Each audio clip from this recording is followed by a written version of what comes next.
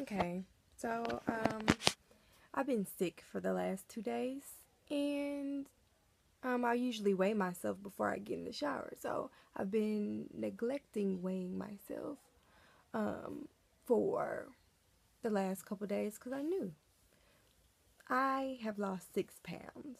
I am back down to 120.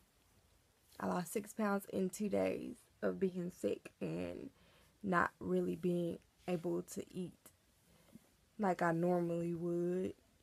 And um, I don't know if devastation is the right word because I have a vacation planned um, for next week. And I was planning on being at a goal by then, and now I've been set back, like all kinds of setback. Um, I'm trying not to dwell on the number, but I'm going to go on a fast, like gain weight. Like she's about to do everything for these next um, six days, not even a whole week. And hopefully I can just get back to where I was.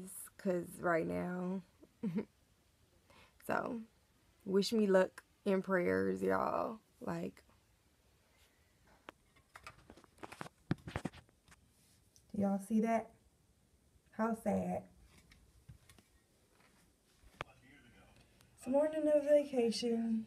I got to 123.6.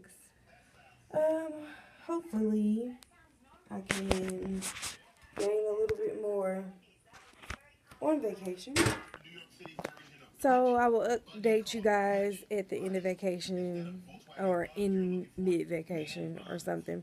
Um, so thank you guys for watching as always. Um, you can see my regimen from past videos. I am going to do a shake update to kind of push me over the edge. Um, these next couple days, I'm going to be drinking the shakes.